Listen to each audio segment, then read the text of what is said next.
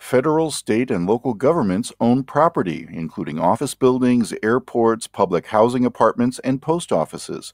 Government property inspectors and investigators make sure that government owned properties meet legal and construction standards and that they're safe for residents and building tenants.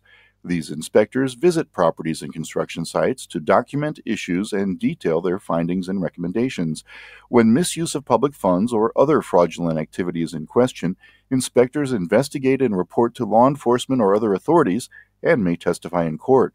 Government property inspectors and investigators also review license or permit applications and may request repairs or fixes based on their findings. Dealing with customers is an important part of the job, and while most interactions may be cordial, sometimes parties involved in investigations respond angrily.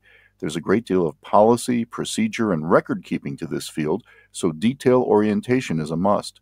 A 40 hour workweek with normal office hours is typical in this field, including travel to visit building locations and meet with facilities representatives. Many government property inspectors and investigators have a bachelor's degree, although typical job requirements include only technical training or an associate's degree.